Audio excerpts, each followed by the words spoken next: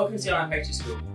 We hope you enjoyed this snippet of our online courses, and if you'd like to learn how to cook like a professional at home, click on the link below. So one thing that I see when people are zesting lemons is they'll take a grater like this and use the Parmesan grater on the sides. This is a really mistake because all you're going to do is take off the pith, which is the white underneath the uh, zest of the, light, uh, the lemon, and it's going to give you a really bitter, horrible taste in your um, whatever you're making. So what we use is this, which is called a microplane. It's a lot, lot finer, and it will just take off the very, very top layer of the zest.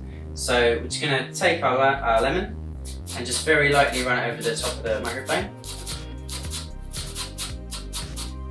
And you should only get this tiny, tiny bit that's coming off the top. You shouldn't get loads of white patches, otherwise that means that some of the pith is inside your mix. Just going to give you a really bitter aftertaste. So I'm just going to slowly move this around.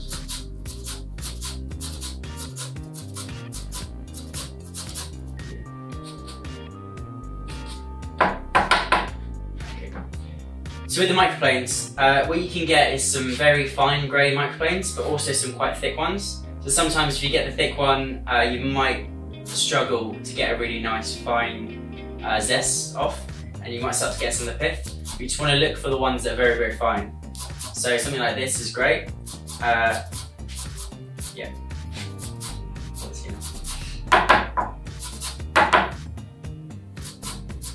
So you can see as I go around the, the lemon, what I'm doing is just taking off the very darker uh, yellow. As soon as it gets anywhere near the white, then just stop and move on to the next bit. You don't want any of that white in your mix.